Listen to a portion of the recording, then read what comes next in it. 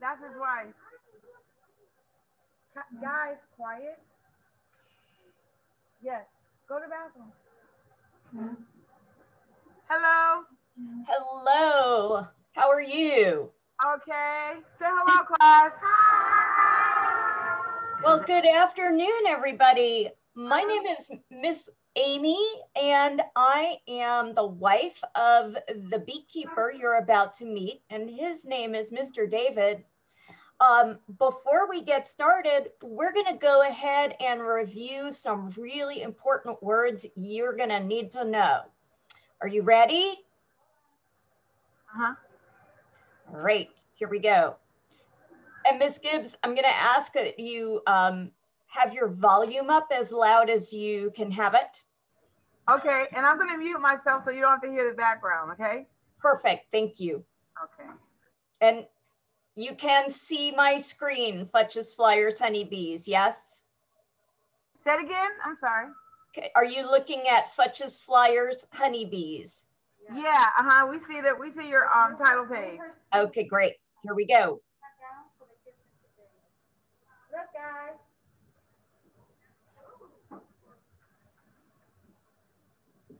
Welcome, everyone. Thank you for being here today.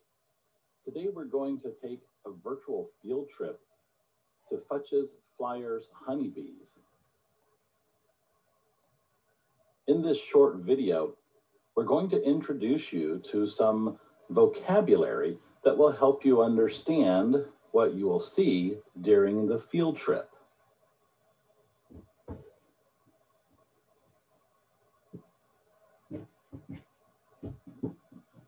We're first going to talk about where the bees live. Honeybees live in a hive. And what you're seeing here is where our bees live. They're called hive boxes. And domestic honeybees, as opposed to wild honeybees, live in some type of hive box.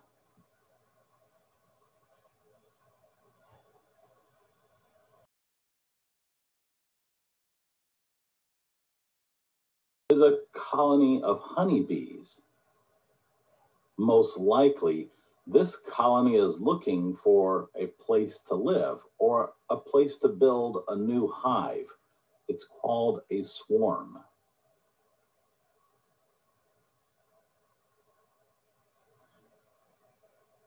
For the bees we're looking at today, they live in the hive boxes and they create honeycomb on frames, like you see in the top right. On the frames, they build cells. A honeybee cell is a hexagon, which is a six-sided figure, like you see in the bottom right-hand corner.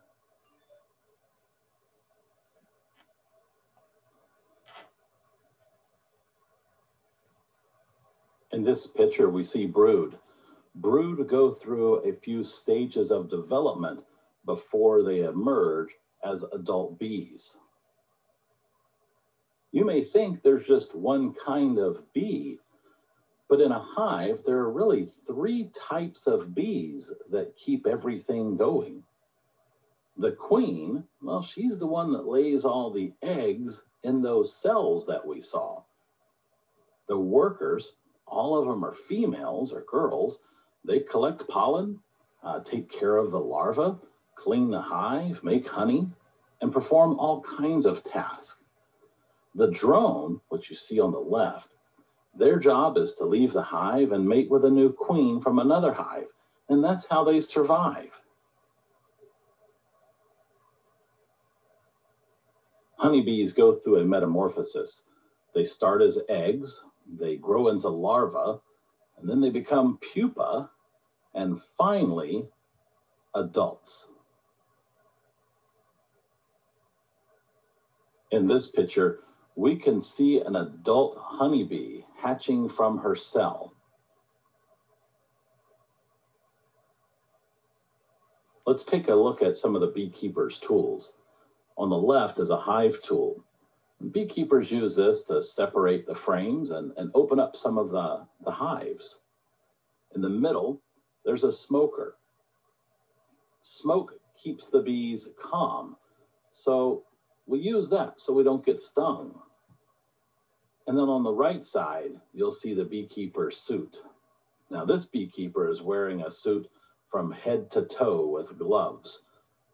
But that's usually a choice of the beekeeper. Most importantly is to protect yourself.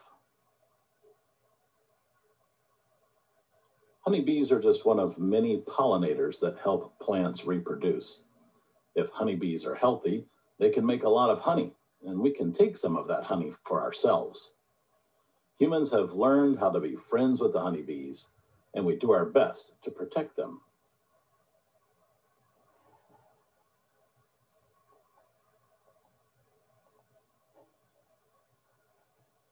All right. So are you ready to get started? I think you probably, all right. I'm going to turn you over to Mr. David now. Jaden, go go ahead and um, if you want, Miss um Miss, you got your hand up at their computer so they can ask questions if they want. I I think that um, if you want to ask questions, we've got a short period of time at the end uh, for questions, or you can collect their questions and ask for them. Or you, or you can type them into the chat room if you want for them.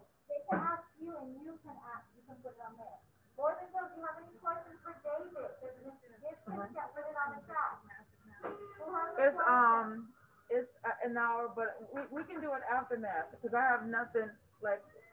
I have a quiz in science and that's all. Okay, okay, great. All right, I'm gonna see why Mr. Futch has jumped. We'll do, math. I'm not sure. All right, Okay. I remember we had. David, are you there? Here we go. I can do it after this because he can he could only do it this time and it's like so it's for full hour. It's just yeah, this, he's from Discovery. Uh-huh. And David, we need you to unmute. Okay. There you go. All right. Can you guys hear me? All right. Hey, boys and girls. How are you? I'm so excited to be here. I can't wait till one day I get to meet you face to face. I've enjoyed working with your teacher already, and we thought this would be a great little virtual field trip to get to meet you and you get to know a little bit about me. Um, before we get started, there's a few things we talked about. You saw a little bit about the smoker. We're gonna have to smoke our bees here just a minute so we calm them down. Um, and I live in North Florida, and most of our flowers are just about done blooming. There's a few white, white blooms here. Um, behind me, you can see all those those plants. Uh, some really pretty purple flowers um, grow there as well. Uh, and so my bees have just really had a, a good time. Um, they're they're doing well. So so without kind of waiting, some things that I let's let's open them up and let's take a look at them. Now remember, we got to put a little smoke in there, and I got my hive tool, so I kind of open up a little bit, just kind of crack it just a little bit. Kind of put some smoke in there. It also kind of tells the uh, tells the bees that hey, somebody's coming in the front door or in the roof. All right. So we give it just a minute for them to calm down, and then we uh, we'll open them up, and I'll show you a little bit about what a beekeeper does. Uh, I know that you've been learning about pollinators and how important pollinators are, and so that's that's why I'm kind of doing this. Uh, I like honey, but I also like to help the environment and help uh, our plants. And uh, and if you can't see it now, but over there are grapevines and blueberries all those wonderful things that we like to, to have. So if real quick though, because it's there's a lot of wind up here today, I'm gonna take off my hood, okay? So I'm gonna take this off. There we go. Now you can see me. Ah, there we go. Excellent. So I smoked a little bit. Let's take uh, and open them up. Yep, there we go. Now this jar on the top is actually how I feed them and I'm going to show that to you at the end of our time today. I'll go ahead and open up. And uh, can you see the bees on that on that board right there? Oh my goodness, lots of bees. And so, so bees, like you saw, live on these frames, and they they build their their their honeycomb on the frames. They they go in and they uh, on that frame they actually make um, um, cells so they can so they can uh, um, have uh, put eggs in there so the queen can lay eggs. So we're going to pull out a few. That one has I have some. This one's a relatively new hive, and so so we're taking this down. We're going to look at it, and I'm going to bring you some some um, frames. Again, these are frames that have some bees on it. I was out here checking the other day, making sure that my little my girls here knew that somebody was going to come knocking on their door. So this is the one I want right here. Can you see how I'm kind of moving them over just a little bit, maybe? So who wants to see some bees? Now, in the video, I did mention that, hey, you know, you've got to know your bees. And my bees are pretty nice. I'll tell you, you see that one at the end with the shiny lid? Those aren't nice bees. If I open that up, I've got to put my hood on. I got to wear my gloves. I'm going to let you take a look at these bees real quick and see how they move around. Let me get the sun on them just a little bit. Maybe like this will work too. That's good. If you just stop for a minute, there you go. Just stop so that they can see them moving.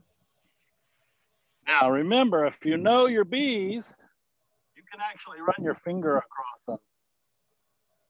Yeah. Hey girls. Mr. David came to say hi again.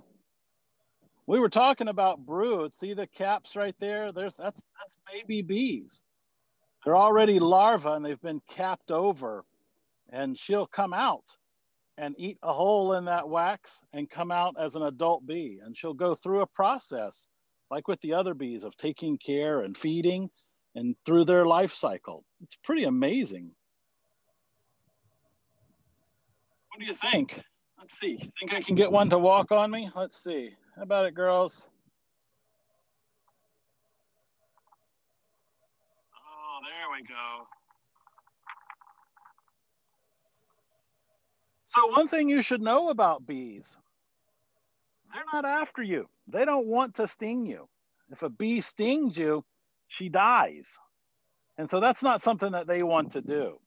So we try to be very gentle, uh, try to help them so, so they um, don't think we're threatening. So all of my movements stay really, really short or really uh, uh, slow. And, and I'll ask you, you know, sometimes when you see a bee, what is it that people do when a bee starts coming around them?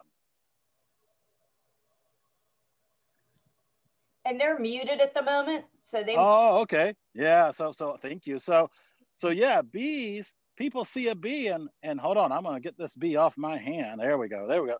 When people see a bee and they come around them, they start doing all kind of crazy stuff like this, right? well, a bee thinks that you're after them. You scare them when you do that. So whether it's a bee or something else that just happens to be fly, flying by, you may try just being calm. And sometimes they'll light on your hand or on your leg. Chances are they're not gonna they're not going to um, to sting you at all.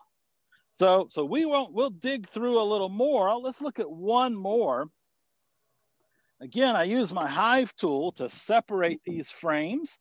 Um, by doing that, because um, the, the bees kind of make this stuff called propolis and it glues them together. But there's a lot of bees there, isn't there? And Mr. Oh David, yes. we have a we have a question. Oh, please, I love questions. So Zaid wants to know how did you get the bees? Well, it's kind of funny, you know. You actually go to a somebody that raises bees. So somebody had to start doing bees, right? And um, uh, Miss Amy and I went to a place up in Jacksonville, very North Florida, and bought five of these frames full of bees, just like you would kind of go to Walmart and buy buy something. Go and and they give us the bees, and we come back and put them in here. Another crazy story. Um, don't have time for a lot of stories, but one day, you know, like at your house, maybe there's a water meter in front of the house. Um, my neighbor came to me and he said, "There's bees in the water meter," and so I, I got a box and I I was able to had all my my suit on and I was able to gently kind of scoop them in this box and I actually got one of these hives out of that water meter. So lots of people will you know want to be kind to bees and if you know somebody that is kind to bees and would help you save them uh, they'd be probably more than welcome to, to come down and, and get the bees and, and, and, help them and save them from somebody smacking them with a, with a fly swatter. So, uh, so that's just one way. But most of the time, people buy the bees from a somebody who sells them. Thank All right. you. So, absolutely. If there's any more questions, Miss Amy, I'm going to start putting these back together because I know our time is precious, and then we'll open up uh, to some other questions that, that you guys may have. Before you do that, do you have any frames with honey to show them? I do, I do. So let's see. Um,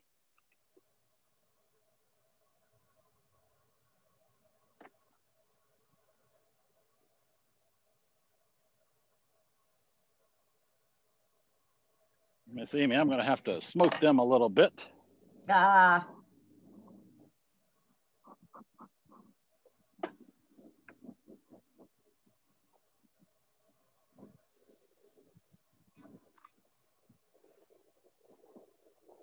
Let's see. Uh, all the frames have a little bit of honey, but let's see if we can find something that you can identify. Oh yeah, lots of lots of brood on that one. Boys and girls, Miss Amy's a pretty good beekeeper herself. You know, Miss Amy, I don't have anything with brood on or with honey a lot, but what I do have, can you see that that um those little white bottoms? a Can you white see in there? Bottom. There's a larva. Oh, larva are there larvae? Hmm, no, I can't easily No. see it. You know, the Okay. our our friends down in Miami may be able to see it. They've got better eyes than you and me. well, well, they're they're getting a little agitated um, because I'm usually very quiet around them. Yes. So if you don't mind, um, we could show them some pictures later, but uh, I'm going to go ahead and, and put them back in so we can we can let them be be by themselves again. Absolutely. We don't want to make them mad. That's the last thing we want to do is make them mad. See how gentle I try to be, easy moving these frames over. You try not to squish one. They, they, they will slowly get out of the way. I can actually put these three frames in all at one time. There's nothing on them. And then the last thing I do when I come out and work with my bees, when I check on them, see how they're doing, I got to give them something to eat. And when when there's not a lot of flowers, and so that so the bees can get nectar, they love sugar water. Just sugar water. I make sugar and water together, and and and then put it in a in a jar. So I'm going to try to get these girls to get down in there. Uh, see how that wind is blowing really hard. But I'm going to smoke them, put the lid back on. All right, girls. Don't forget your your frame holder. Oh, my frame holder. Thank you. All right. And if they're not in the box, they'll actually find their way back in. They they know which one is home. And, and that's another reason why we kind of have them different colors, slightly different colors. So I pull off this jar and then I'll put on another jar of sugar water kind of shake it so they can see it going in, get all excited. Like a big candy bar to them. And that's our little dive into a, a, a beehive, a honey beehive that uh, that that most likely, if you like honey and you eat honey, it comes out of a box kind of like this. Sometimes they stack them really high, um, but that's that's how we get the honey that we eat.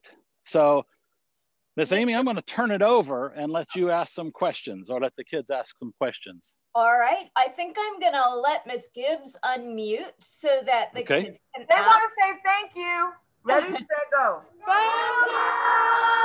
Okay, they got some questions. All right, I'll, I'll do my Wait, wait, best. wait, wait, wait, wait, one at a time. Uh, Wait, wait. Um, they want to know um when the bees grow up, do they eat their own larva? La- not- They do not. No, they actually have.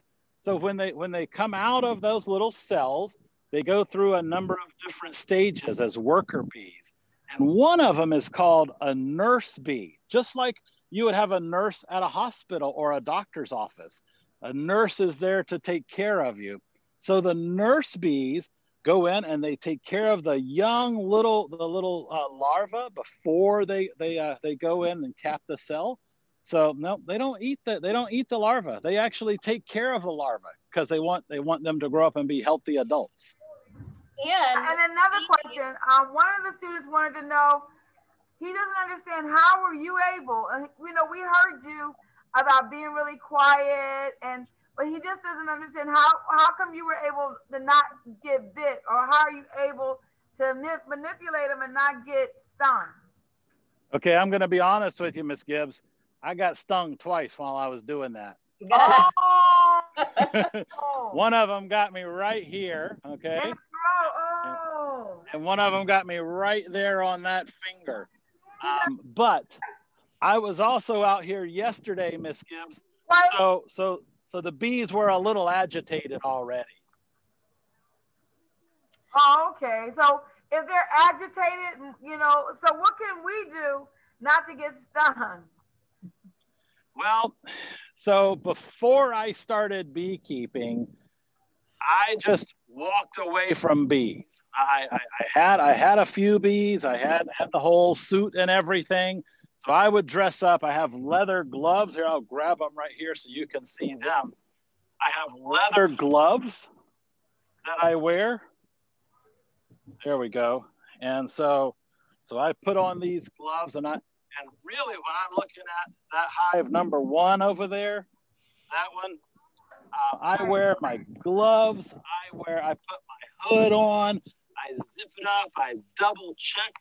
Um, I even sometimes I don't wear socks. I even wear socks because they get agitated really easy. And Oh, okay. today, and I, and I don't know what the weather is in Miami right now. It's obviously bright and sunshiny, and, and if you could see the sky, there's no clouds up there but there's a good bit of wind. So so today, um, if if I normally was, if I wasn't doing this with you guys, I probably wouldn't have come out here and opened up the hive just Oh, because I, I'm learning. It's been a couple of years, but I'm learning what it takes. You know, what what when a, when a bee gets mad. Uh, like if it's raining, if it's raining at all, absolutely not. Don't open them up because they're they're all inside and they're all ready to. Uh, you know, they don't want to be inside. They want to be outside hunting down flowers and, and getting getting nectar. all right. Yes. Um, what's your what's your question? Yeah. Um, we want to know is the drone a male? A drone is a male. In fact, um, a drone can't sting you, and he's a little bigger. Um, if we'd have had, if I'd have been fully suited and it had been a, a calmer day with wind, uh, we could have probably seen a drone. Um, but but if you if you, if you look it up, and I could I could send you some pictures, but you can actually see it's a little bigger than than the worker. Uh, you can you can tell it with your eyes. So who who stings you? The workers? Only the girls. Yep, only the girls. The the workers? The drones don't sting you. The um, The- the- these yeah. Girls, which are the girls, sting you.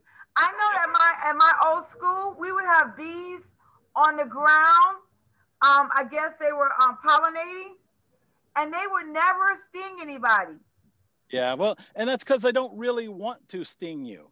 Um, you know, you saw me pulling them out and everything. Yeah. So, so they were that with the wind. We got the wind coming from that direction, and uh, with the wind and me messing with them today and and having just messed with them yesterday No! you know they um they they, they really weren't, weren't weren't excited about me. Um they're not like pets. It's not like i can be so nice to them and then they won't sting me. But they don't want to because unfortunately i had two bees die today. One that bit me here and one that bit me there or bit me i say it's bit me stung me and stung me. But yeah they don't want to do that um, they try to avoid that but they're trying to protect their hive which you can understand Um, um, Sanaya, what, what question do you have? Oh, the bathroom. Who has a question? Zayden, what? Wait, Roberta, what's your question?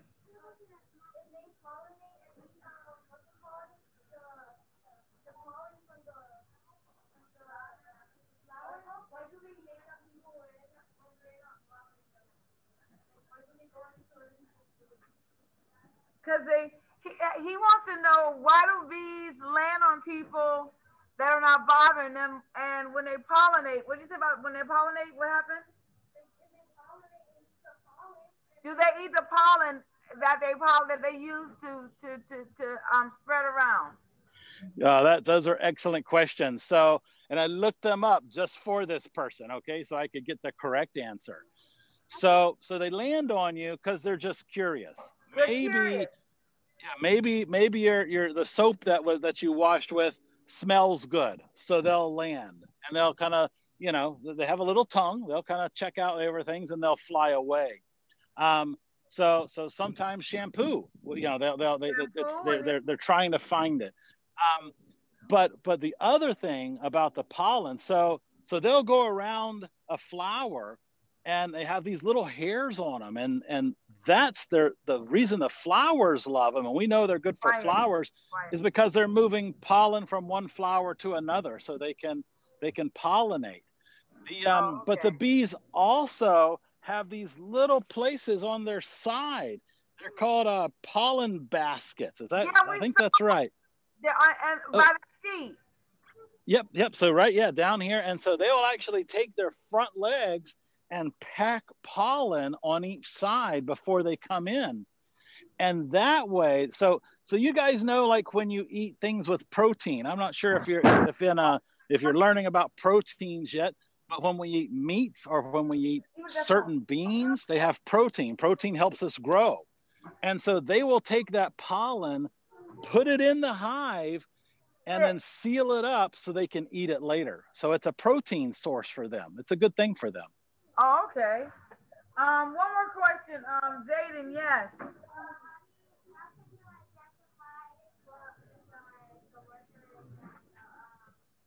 He showed a picture. He, they showed a picture of the queen, the worker, and the drone. I'll I'll I'll find you another picture. He wanted to um, be able to identify the queen from the drone from the worker. Okay, and and um, uh, Miss Amy may be able to uh, send you uh, a, a, a copy of that YouTube. We put that video on Yeah. YouTube, Uh-huh. and, and so that that would so then that could help reinforce with them what they already saw. So we could certainly easily share that with you. And um, One more. Okay. Yes. What's your question? You have a question, Emily? Come tell me. Let let Emily go. She hasn't gone yet. And co- you come yet too. Da- and tell me. Quiet. No. Go. Oh. What is the life cycle of a bee? Like, how long do they live? So kind of funny. It just determines on what time of the year it is. In the summertime, when there's plenty of flowers and they're busy making honey and going out and finding pollen, somewhere around 30 days, maybe four, three, you know, 20, 28 days to 30 35 days? days. Yeah, that's it. They only live like a month? Yep. Now, since it's since there's not a lot of bee and a lot of a lot of flowers, um, they will kind of they don't hibernate, but they're storing all of that honey all summer. The honey I leave them. So like so like that one on the end, the honey up top is for me. The honey down below is for them. And so so they'll they'll actually live on that honey all all winter and some of those those uh, um, worker bees may live four or five months because they're not out flying. They literally will fly until they wear themselves out and die. Oh my good. And um, one more, Diana. What? Huh?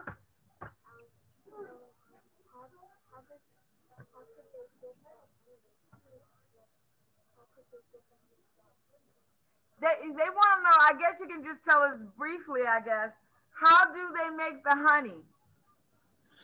So they have enzymes in their body and Listen, they guys. actually they actually will take the the um the the the, the sugar water in or the um the nectar from the flowers in they're inside their body. They have enzymes that will will turn it into honey.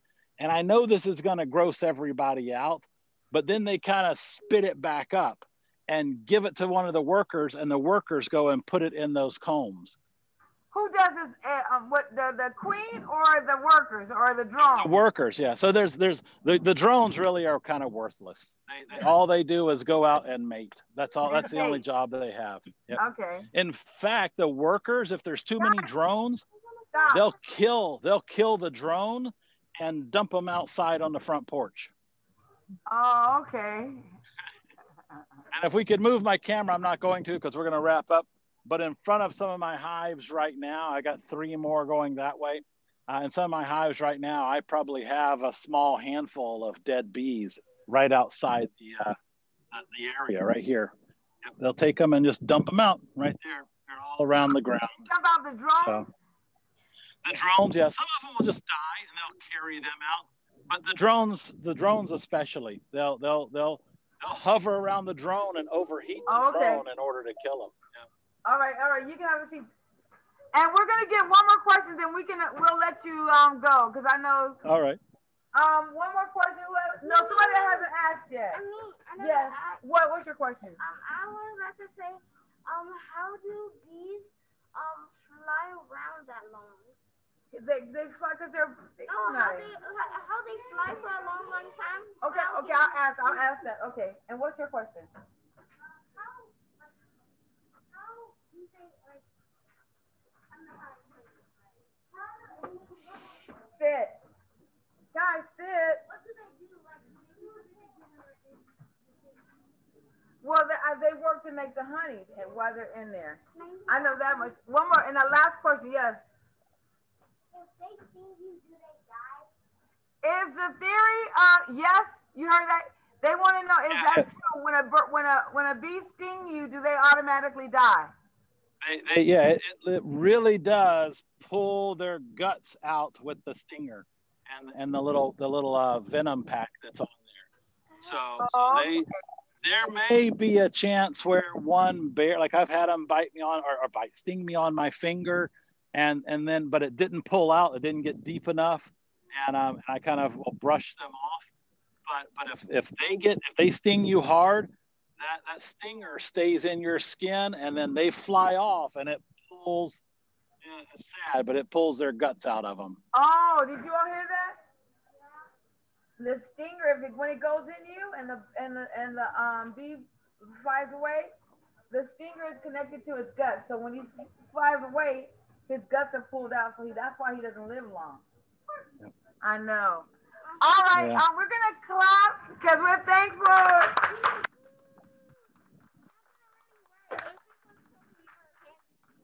Um, um, are, are you gonna um wait, guys, wait, guys, say thank you.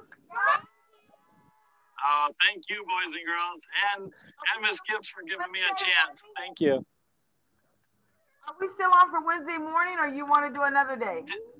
it's 10:30 i believe is that is that, is that what Yeah, i remember uh-huh. correctly yep Yes. same thing we'll, we'll do exactly the same thing but this time we'll have them join from everywhere i guess they'll be virtual All right. Well, thank you so much, and we look forward to All right, seeing. Miss I look forward to seeing you Wednesday morning.